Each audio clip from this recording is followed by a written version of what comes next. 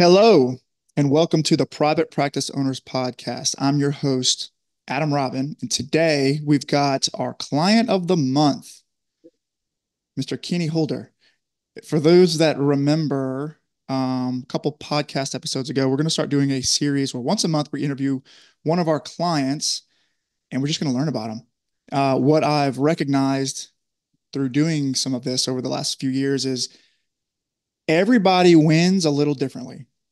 We just interviewed Sam Jackson and he's got his story and he's winning in his way. And today we're going to talk to Kenny and he's winning, but he's using his own Kenny sauce to to to move the needle in his business and make progress in his practice. So want to introduce you to Kenny. What's up, man? How are you? I'm good. How are you, Adam? I'm doing good, brother. Happy Thursday. Happy Thursday. How's your day today? It's been good. It's been busy, but that's a good thing. Yeah, I've been busy. What what kind of stuff you been busy doing? Um, well, today I have been working on a lot of we're still trying to get a lot of policy and stuff in place, changing some things up. Um, more kind of guidance for our PTs and kind of working on the way we change some of our billing up. So I've worked on most of that today. It's awesome. You know what I recognize whenever you say that is you're working on the business. Yeah, that's kind of what it's I've gotten a lot more time to do that. Yeah. So you kind of start it's cool because you can start you play more of the CEO role, right? Like you got like actually like identify the challenges that are in your business and and move people in the right places, solve the right problems so that you can set your team free to help you grow the business. That's the goal. That's the goal tell me, um, yeah, if you don't mind, just tell me a little bit about you. I'd love to hear just a little bit about you and your family, where you're from, where you live. Um, and then if you want to go into, tell me a little more about, you know, why you got into private practice and what what what what's really important to you about being a, a business owner these days. So yeah. tell me about you. So I am from Conway, Arkansas, which is in central Arkansas. Um, I've been here since college, so that's been about 15 years now. Um, I have a wife and two boys that are young. Um, got into practice. We started in 2013 in a small town here in central Arkansas, um, just working by myself and then eventually expanded in 2019 opened up a second clinic. Um, kind of got into private practice. A lot of it was i didn't really like corporate the corporate world. Um,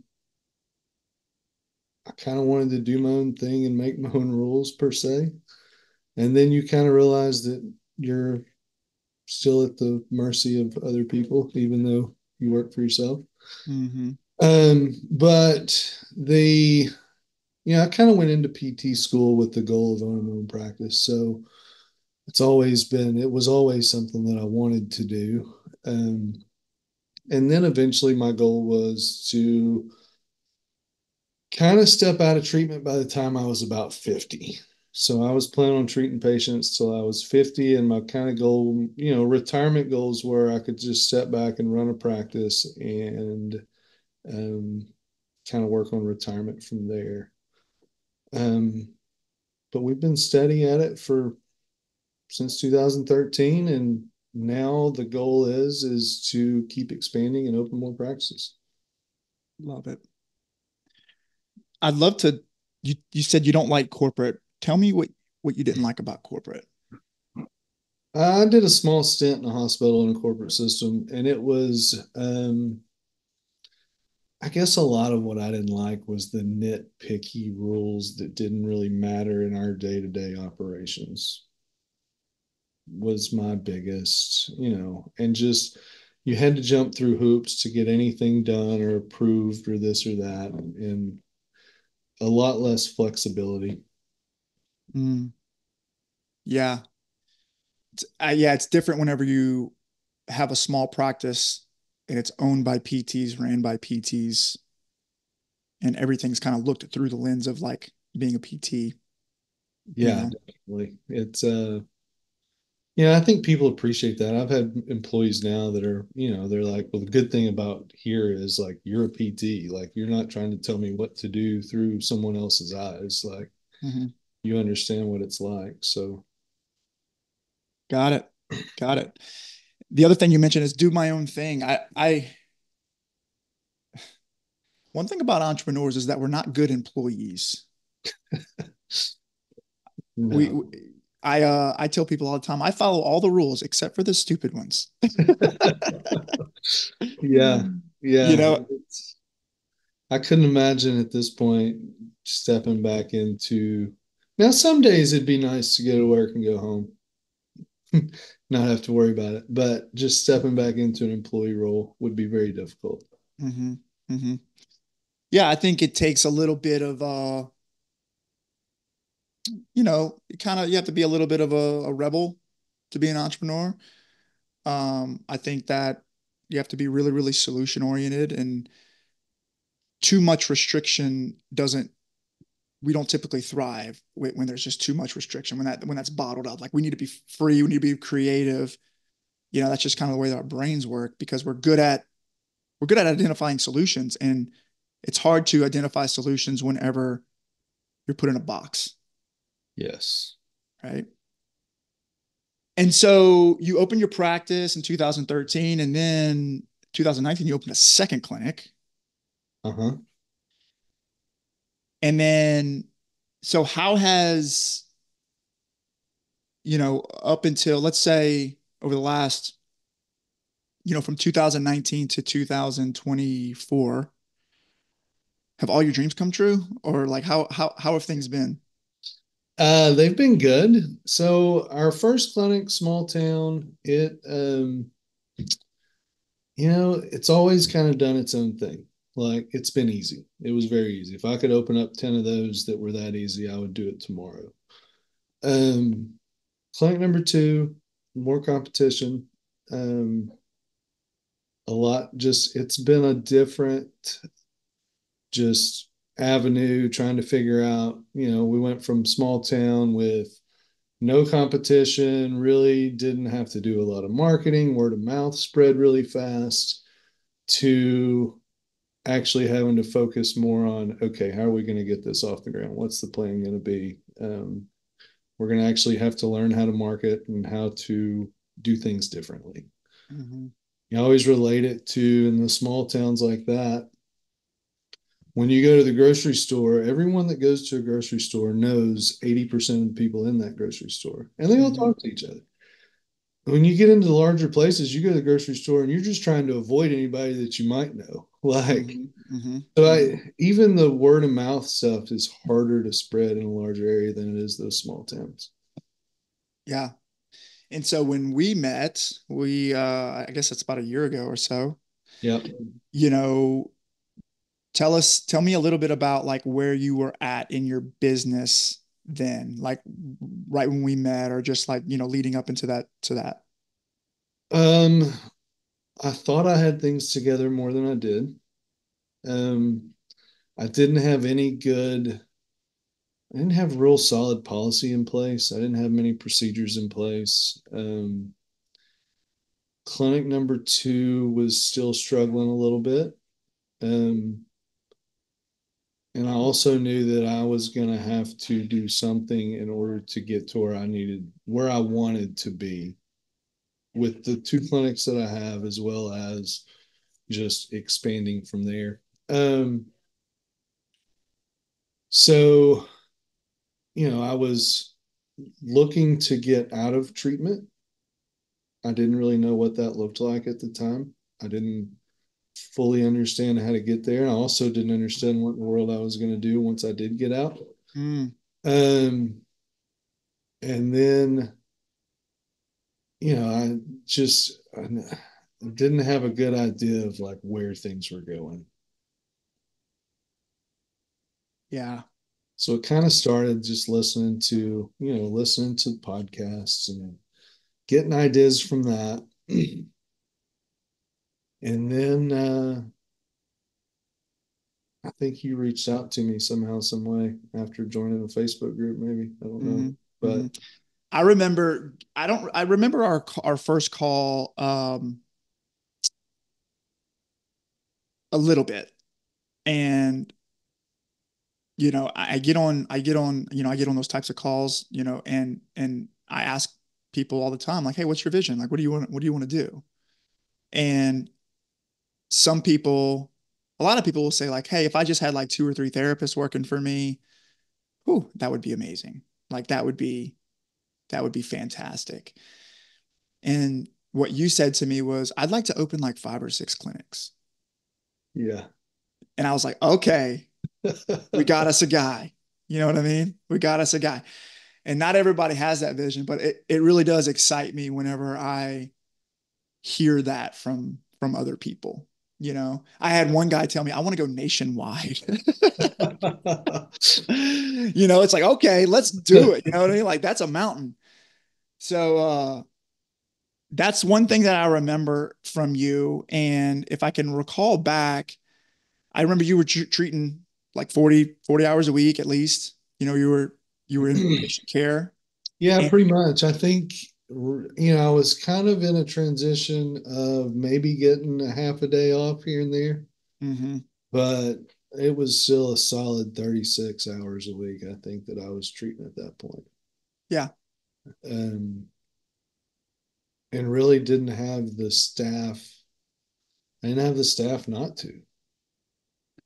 So let's talk about that because this is fun for me because I'm debriefing the last year with you and I'm remembering some of our calls and I don't you remember like we had we we we got stuck on recruiting for a while. For a while, yes. Remember that? Yeah. Like yeah. can't find a PT. Yeah, we were stuck there for a good minute. Yeah. And and you were you know that's typically you were kind of in that stage 3 is what we call like the evolving leader where it's like you've got a business, you have got referrals coming in the door, financially, you're doing okay. Systems are kind of like the house isn't burning down, systems are there. But I'm having a hard time really flexing that leadership muscle, and I'm having a hard time driving like referral, uh, um, recruiting, like getting people excited about coming to work with me. And whenever you solve those two problems, boom, you, you find yourself at a new capacity. So let's talk about recruiting.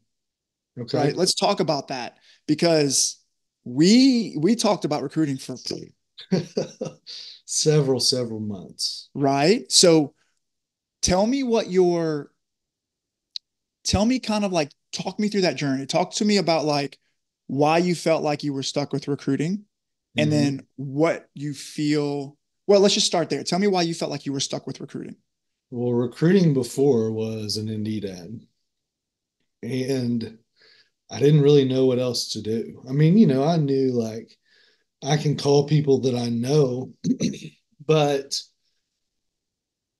you know, my network really wasn't that big as far as PTs that I know. And most of the ones that I did know were either in practice for themselves or, you know, lived off. So my recruiting strategy was, you know, an ad on Indeed. And you just, I did not get anything from Indeed ads. Um, so I think our first step was working our way through that, you know, just getting through. You basically told me Indeed's not going to work.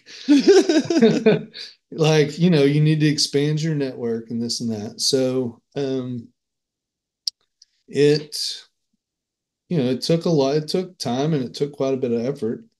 Um, and kind of learned that recruiting is a lot similar to marketing. That, mm-hmm. you know, I mean, you're just marketing yourself to a different group of people, but um, that, you know, it's the more places you touch, you're not going to hit one home run with an Indeed ad or a, you know, you might, but the chances of it are slim. But it's kind of a you touch a lot of small points and it eventually comes together. Yeah, hit some Nathan likes to say hit some singles. Hit some singles. Mm-hmm. Mm-hmm. Yeah, buddy. you know um yeah so there's a lot of we can unpack there and you know everybody kind of has a different viewpoint on how to how to move the needle but I, in my opinion i think all the best uh, owners people who can grow any business they're they're really good at recruiting and they're really good at marketing like those are the two skills that they're just really good at.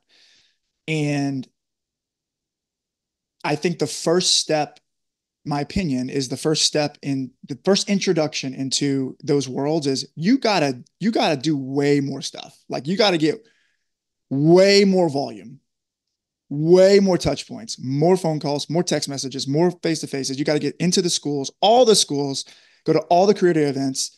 Like you just gotta get active. Yeah that's the first like that's the first challenge right and and once you normalize that level of activity, it's kind of like when you uh you want to teach a kid to swim, throw them in the deep end. You know what I mean?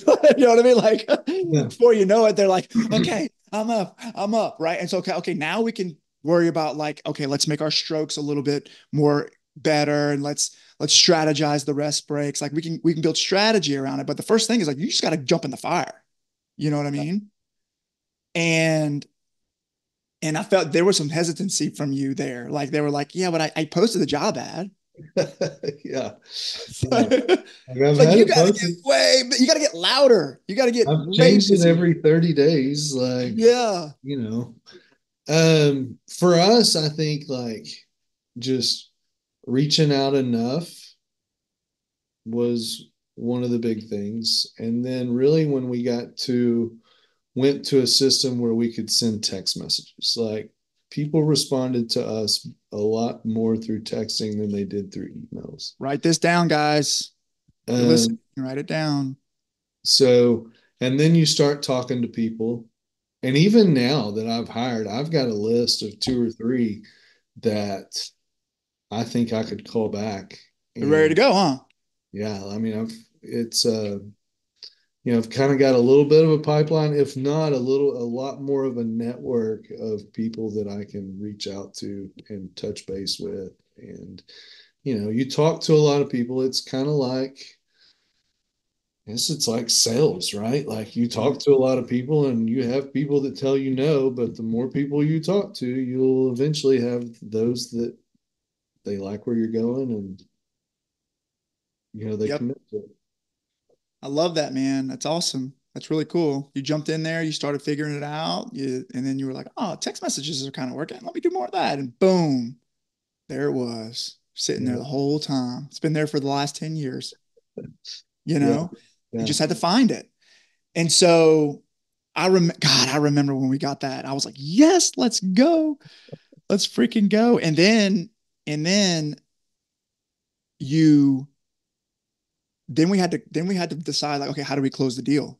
You remember that? Then we were like now we started doing interviews and you had candidates who were like yeah well i might not stick around. I want to i might want to move off. You know i'm not really sure what i want to do right? So then you had to like it turned into not a lead generation issue. It yeah. turned into a sales hmm. i'm selling myself i'm selling my culture i'm selling who i am and i'm helping this person realize that maybe this is a good solution. So talk us through that. Like talk, how did you, how did you, what was your framework around that? Um, it was a lot of follow up phone calls, a little bit of luck, um, and really just trying to I guess provide the opportunity and sell the idea of growth, right? Like this is where we're at, this is where we're going, and you know there is there is potential for opportunity here versus just going and finding a travel job and traveling. You know, you may make more money in the beginning, but at the end of the day, like you're actually setting some roots somewhere that has a future versus five years from now, you're just standing there, you know, like wondering what you're going to do next. I think that did it more than anything. Yeah, couldn't agree more. It sounds like you shared your vision. Yes. You had, first of all, you had a vision. Yeah. You were, you were clear on the vision and you started getting more clear on like what your purpose was, what your values were, what you stood for, the type of who you were and the type of people you really wanted to work with and what you were being called to build. Yeah, I mean that's something we've definitely gotten more solid on in the last year is a lot more purpose and value driven than you know than anything. And those are all leadership skills. That's why that's why leadership is the bottleneck there. Right? Yeah. That's why that's exactly why like you don't need to focus on that if you're trying to get new patients in the door, right? Like that's not really like your big bottleneck. It's it's important, but it's not the thing that you need to solve, right? And so like did I did did I give you like a super secret formula to recruiting? No. I no. mean, did I did, did I did I automate anything for you? Did I like did I like tell you like, oh yeah, all you got to do is outspend some money on Indeed and all your pro- did I do any of that? No. no. No. What happened was Kenny Holder changed and he decided and he elevated himself and he created a new possibility. And that's the thing that moved the needle. Isn't that crazy? Yeah. That's yeah. awesome. it's freaking awesome, man. And it's like, like I've always said, like, good news is you're the bad news is you're the problem. the good news is you're also the solution yeah. right? And you will not create, you will not move the needle in recruiting until you become the person that you need to be to move the needle in recruiting. And once you were able to see yourself in that in that role, you were able to show up in a much more powerful way. Yeah. And, yeah, we know? got two PTs out of the deal. Yeah. So like, yeah. So this knucklehead here, not only did he hire one, but you hired two. Yep two PTs, and you got people in the pipeline. Nuts. And I remember, I remember, uh, now we're getting into a little more recent conversations, right? I remember having the conversation of like, well, maybe I should just hire one. Right. Yeah. Let's talk through that, right? I want to just hire one. Uh, but should I hire two? But I don't quite have the visits for two, right? All that stuff. Let's talk, let's talk through that. Like what how did that come around? So, you know, we had in one clinic, like one office, we've been trying to hire PT for a year. I mean, we had an immediate need and it was now. Um, then I had, you know, through the recruiting efforts, I had ended up with two that were wanting to come to work. Um, so office two we were kind of getting full, but not like, you know, still had some room. But I knew if we kept growing that I was going to need another PT.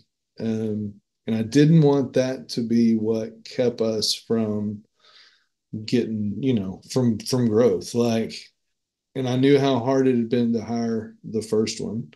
Mm-hmm. So, you know, it ended up we sat down and did the math on hey what's this you know what what are the pros and the cons and you know what are the true costs of what it's going to take to hire the second guy and so we just i felt like it was you know we could get there that you know we could um we could get the we could do what it took to get the business to get him hard and busy. And and that's been I guess he started six weeks ago. And I'm gonna say we're 80% we're 80% of the way to getting his schedule full. Yeah. I remember at the conference in Clearwater, we were sitting on the on the rooftop thing uh, yeah. the first day and we are having a couple beers and and you were like, man, I'm stressed out. I, I've got these two PTs and I don't have the patients to see him. He's only treating like four patients a day. Like, oh my God. And it was just, it's so cool to see you overcome that. Yeah. I mean, we're already trying to figure out a PRN therapist right now. Like, mm-hmm. because if it keeps going, um, he'll be, he should be full within the next month to two months completely. So you decided, you know, what I'm kind of hearing is as I'm thinking about your journey, it's like pick your hard. Yeah. Do you want to stay stuck in treatment for the rest of your life and just do that? Or do you want to do the hard thing of like figuring out how to fill up this practice? Pick one. Yeah. And and and get and and, and be have the courage to go after what you really want. Yeah. Because what you're really doing is gambling on you. Right? Yeah.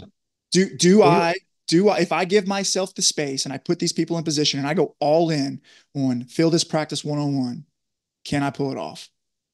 And you surrounded yourself with a great team. You went to the conference. We did a lot of brainstorming around how we could do that. You've got a coach and you went all in on it. And that's all you needed. And now yeah. look at you. You solved the problem right? Now you're, yeah. and then once you fill this practice up, there's going to be, guess what? There's going to be a new problem. All right. And then we're going to have to solve that one, you know? Yeah. Well, you know, the good thing I'm down now to, um, kind of transitioning out of seeing my last few patients. Um, you know, I'm probably treating 10 hours a week. Mm-hmm. Um, and over the next month or so should be getting that down to but what it's allowing me to do is I have the time and the ability to focus on those things without just running myself. You know, before it was five minutes here, 10 minutes there. You know, you might get 20 minutes and then you never could really get started on anything really well before it was time to go do something else and then it's uh when you have more time to spend and focus on the things that matter the things happen a lot faster isn't that crazy yeah yeah I, there is no problem you can't solve you just got to have the time yeah, you just got to have, have you have to be committed to the process of stepping out of treatment educating yourself, right? Like you got to like get in the vault, study, study your numbers, play with it, figure it out. Talk about hiring, talk about recruiting. You got to hang out with some people who challenge the way that you think, either some type of mentor or coach. Yeah. And if you just commit to that, you will grow. You will get better every single day. And then your business will get better every day. You know, like it's not, it's, it's, and that's a, it's a scary thing to trust when you haven't experienced that because we're just so used to like i gotta i gotta hustle i gotta i gotta get out there and i gotta pick up the wheelbarrow and i gotta feel like i gotta hustle if i don't hustle then we don't move and it's really like no you gotta evolve hustling is not going to get you there you have to evolve right and once you evolve then you'll move you know and it's just really cool to see you just level up man it's awesome it's really exciting. It's like it gives me a, a lot of purpose because it's like it's really what I live for. Like I live for that. Like I love seeing people win. So that's awesome. Yeah, it's been a great journey so far. And I feel like it's just getting started. Um, you know, we still have plenty of things to work on, but now, you know, you've helped me get to the point of like I have more. Uh, I have more and more that I know what I'm gonna do whenever, mm-hmm. as I don't treat patients. Like instead of, you know, I guess it's given me a lot more clarity in my role as an owner versus a therapist, and you know, my team can see it. Like there's been a change there. Um, when you know they can see that you your visions can kind of start coming to reality um, once you kind of do have the time to start making that happen and then they're more involved um, you know and through all the leadership training and stuff that we've done even through that conference like you know it's helped me get my team more involved in helping us get things done and then they buy in more and it creates a you know just the atmosphere becomes better at that point too. And then you can't lose. It's hard to lose when you got that you know when you got people just really committed to that. Um so what type of advice would you give so I I talk to not just practice owners, but I talk to vendors, you know, digital marketing agencies, EMRs, and I network with a lot of those people.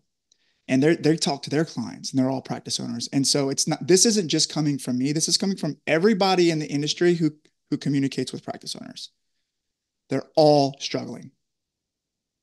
They're all struggling. They're all stuck in the business, burnout. Not all of them, but a big majority of them. And why wouldn't they be? It's hard. Reimbursements are declining. It's hard to recruit. It's hard to market. There's a lot of fears and insecurities, and I don't know what to do, and a lot of that stuff. Like we've never been taught how to run a business in school, right? Yeah. So if you can kind of put yourself like the old Kenny back in the day before you are now, like what type of advice would you give him or her if that person's st- kind of stuck in their business and like what, what's the bullet points you'd give them? Well, A, I would have started coaching back whenever I just started opening my practice up. Have you seen Zach Randolph's progress? yes. The guy is freaking, I'm jealous. yeah. I mean, he started, he, he started with me like three months before his clinic. The guy, it's unreal. So yeah, start coaching. Yeah. What else? That and, you know, like Sam, I mean, Sam's killing it. You know, but um, I would have started coaching a lot sooner. Um, I would have definitely. So I spent probably the first, I don't know, seven years just you know, like I knew I wanted to grow, I knew what I wanted to do, but it was just like there was no real vision as to how to do it. You know, it was just treat patients, let's try to get busier, we'll hire more therapists as we need to, but there was no actual path on how we were going to get there. Mm-hmm. I think I would have, if I would have started that path a long time ago, then you know I'd probably be at five or six clinics by now, anyways. Yeah.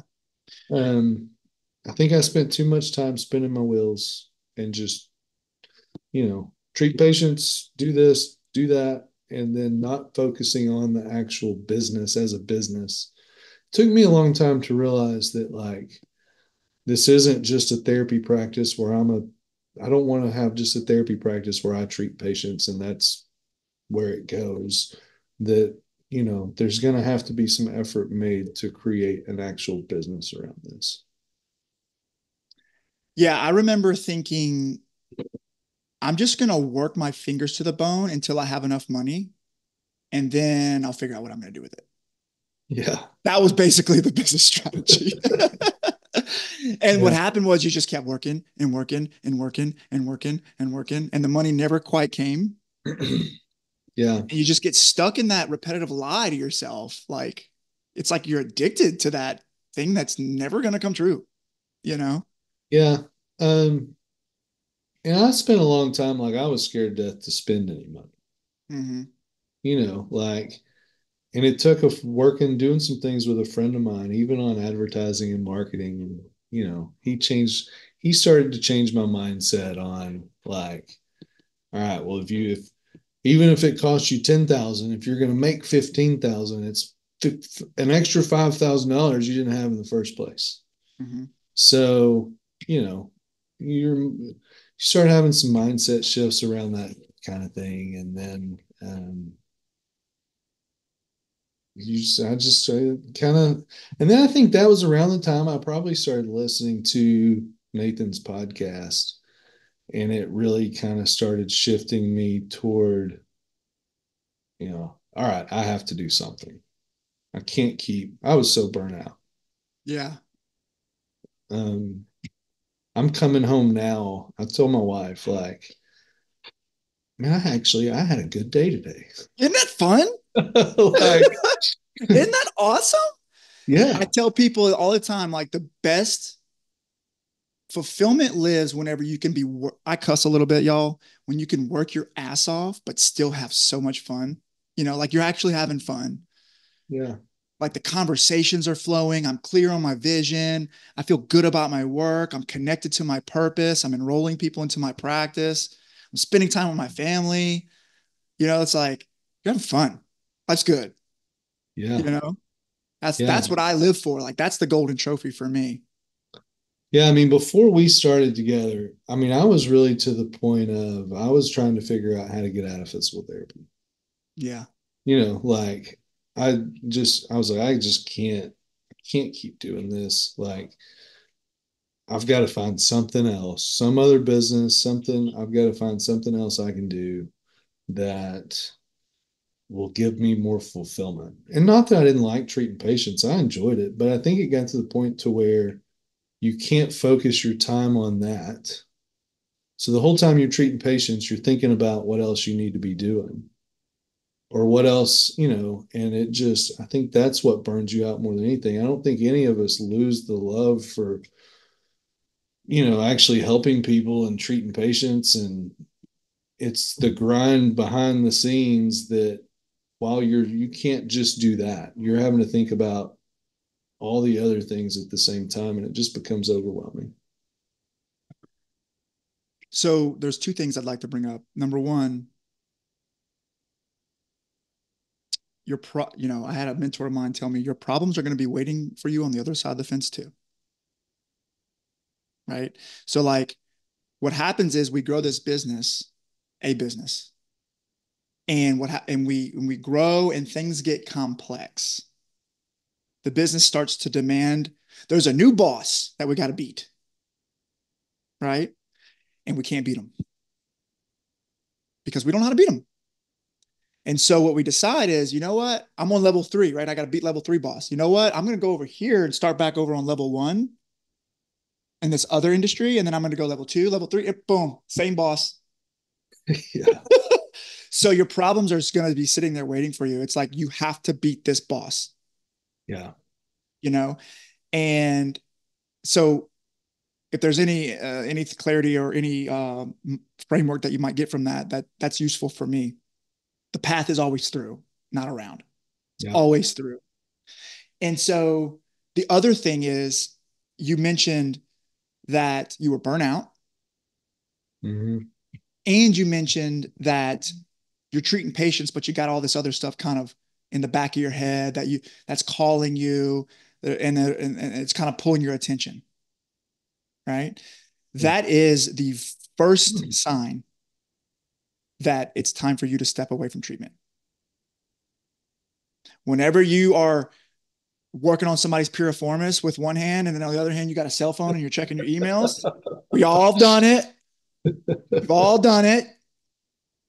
It's time. It, at that point, what's happening is your purpose, you are no longer aligned with your purpose. You are no longer aligned with your true purpose. There is a bigger purpose calling you, and you're not committing to it. And people get burned out whenever their day to day routine, their day to day work is not aligned with their true purpose because it takes courage to go after it, right?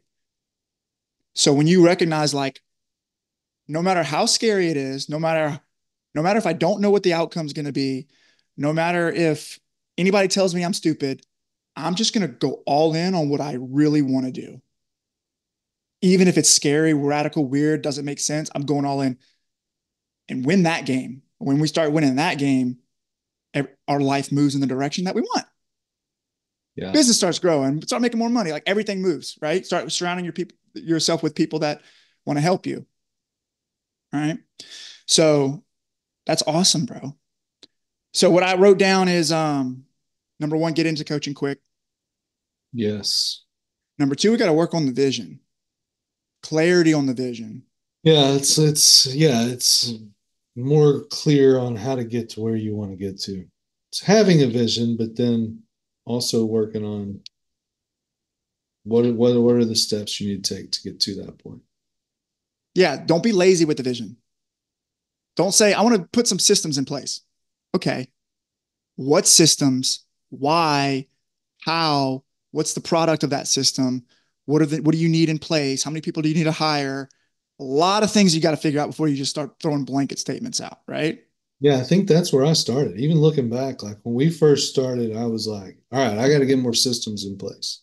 But in my head, like I had no idea. Welcome what, to the club. Everybody I didn't know what those systems were. I was like, I know I need it, but I don't know what and yeah. now, like, I mean, it's still a work in progress, but like I have a whole list of like, I know exactly what I'm gonna, you know, I know what we need and what's gonna make us as a company better versus just knowing that I need something. Mm-hmm.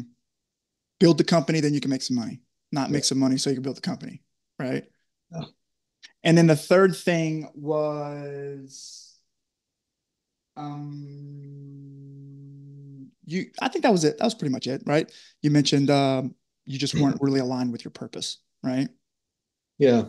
You yeah. feel yourself being pulled out you pulled to into sub, something else, like it's probably time for you to start spending more time there. Yeah. Yeah. That, you know, just taking action versus just thinking about it. Yeah. Yeah.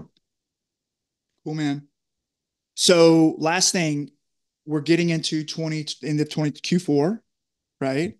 So yeah. what types of how has your vision expanded going into the rest of the year and then like have you started thinking about 2025 what that might could look like for you kind of what are some of the big things that are on your plate that that that excite you um i think the biggest thing is developing more leadership roles within our organization as it is um which that shift has already started but i'm kind of getting more clear on how that looks. Um, you know, like we did an annual strategic plan last year. and it was, and I think you even told me this like, just start somewhere. It doesn't even matter. It doesn't have to be perfect. Just you need to start it. And I've already been thinking about that for this year, and it's gonna it's gonna look completely different and complete. I mean, it's it's going to have a lot more purpose this time than it did. There you go. Time. You debrief it, you learn. It's um, better every year. It gets better.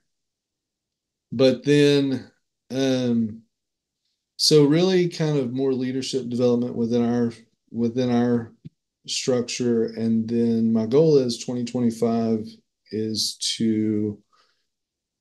That's whenever we're going to start expanding as well. Start looking into the clinic number three. Yep. Yep. That's fun. It will be fun. That's fun, man. I'm I'm on board. I think that's great. Yeah, that's the goal. All right, brother.